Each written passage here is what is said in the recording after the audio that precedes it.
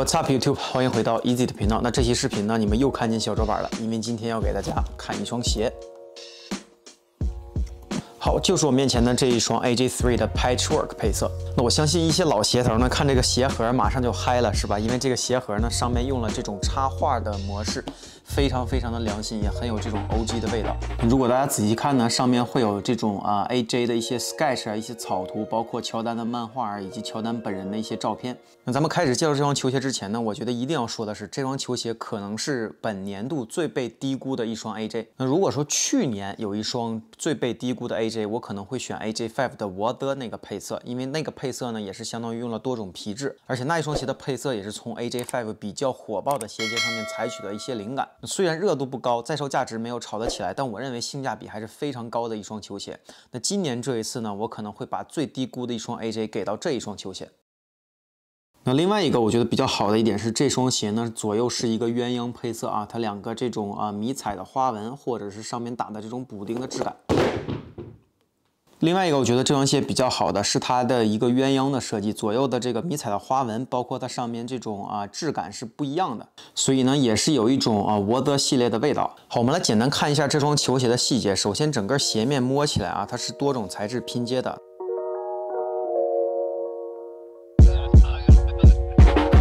那在脚后跟这一个部位呢，是一个长毛的麂皮材质，包括鞋头前面这个部位也是相同的材质，只不过配色不一样，前面是一个军绿色啊，那后边是一个这种大地色系。那在 toe box 这个部位以及脚后跟啊上半部分这个部位呢，它采用了一个比较奇怪的质地，这好像是一个帆布质感啊。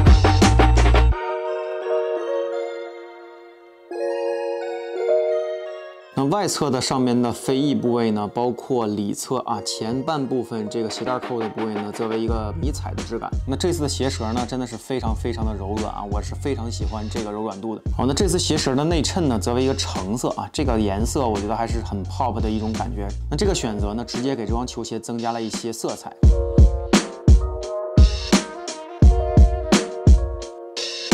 好那鞋的中底呢，并没有什么特别的，为一个很普通的 AJ3 的中底。那脚后跟的部位呢，也是有一个气窗。正常来讲，一双 AJ3 呢，后边会是一个塑料片，但这一次呢，换成了一个这种长毛麂皮的感觉。那另外一个设计呢，我不知道有多少人发现了，就是如果你把后边的这个位置给它翻过来。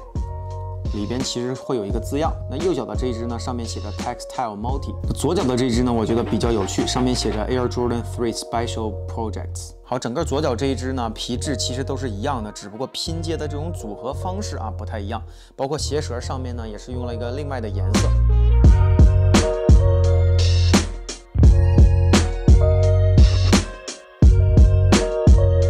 这双球鞋的外底呢，则有一些呃橙色元素，包括前脚掌的这个防滑垫，以及啊中间脚掌这个部位的 Jordan logo。好，这双球鞋其实默认呢是一个黑颜色的鞋带，但是呢，它还给你带了另外两个颜色的鞋带，一个是这种橙颜色的鞋带，那这个颜色呢跟鞋底上的橙色，包括鞋舌内侧的橙色是一样的。好，另外一条鞋带呢是一个 Top Haze 的配色。那屏幕前的观众呢，如果手里有这个 Top Haze 的 AJ4 或者是这个 Union AJ4，你可以看到颜色是非常相近的。那我我手里的这双 Union 呢，其实颜色偏浅，但如果你有真正的这个 Top Haze 的 AJ4，你会发现这个颜色跟它很接近。一般情况下啊，我穿这种鸳鸯的球鞋呢，我会把一只脚换成这个彩色的鞋带，所以这一次呢，我应该上脚也会把其中一只呢换成这个橙色的鞋带。好，那除了鞋带以外呢，它还带了两个 Nike Air logo 的 sticker，那这个我不知道能够贴在哪里，咱们尝试一下啊，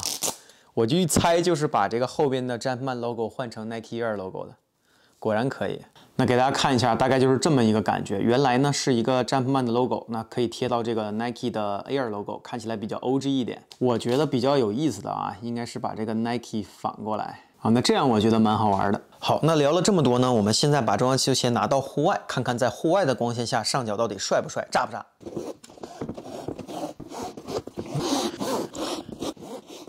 好像是比黑的好看。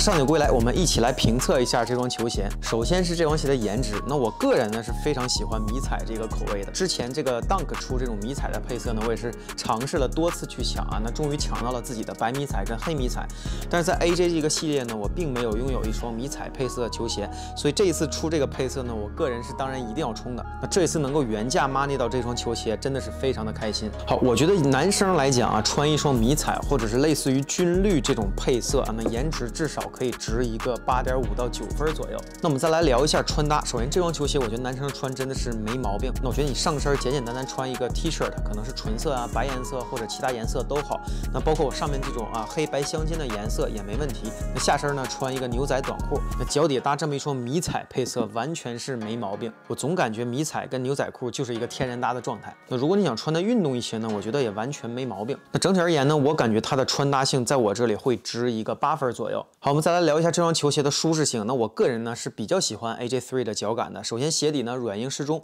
鞋面呢包裹性很强，同时呢又相对比较柔软。那这次的鞋舌呢做的就更加柔软，所以舒适性在我这里呢可能会值一个八分。然后我们来聊一下这双球鞋的做工。那这一次呢做工我觉得还是挺用心的啊，它至少做了一个这种拼接，所以呢它生产起来呢难度啊稍微大那么一点点，所以诚意呢也就足够了那么一点点。但是啊，我觉得唯一的缺点就是它不是一个纯皮质，它是一个这种牛仔的拼接，所以从材质上讲呢，可能它的这个分数会稍微低一些。好，整体而言呢，它的材质或者说做工，我可能会给一个七分左右。好，我们再来聊一下这双球鞋鞋的保养性啊。首先，帆布质地呢脏了就没办法，只能洗，只能刷，它不像这种皮质啊，你简单擦一擦就 OK。比如我旁边的这双北卡蓝 AJ3 呢，它是一个荔枝皮，那这个皮质就柔软的多了，打理起来呢，我认为也相对简单。其实脏了以后用湿纸巾简单擦拭一下就可以。那我手里的这双阿玛马尼尔呢，它的打理性就其次，因为它至少用了一些这种啊长毛麂皮的材质，它还是怕水的，或者是脏了以后呢，你也只能去刷。好，那这双球鞋呢，就比刚才那两双都要难打理，因为它上边的材质太多了。但其实说实话，如果我个人来穿呢，我会可能把这双球鞋穿成一种脏脏鞋的感觉，有一些这种岁月的痕迹，我觉得这双鞋反而会更加的好看。好，最后呢是这双球鞋的投资性，那我呢原价 money 到三双这个球鞋，那之前 money 到一双十四码跟一双十点五码，那那两双呢都大概以两百七十美金左右的价格卖掉了。刚卖掉呢，我就觉得我可能卖便宜了，但其实你现在看啊，这双球鞋的价格呢略有走低的趋势，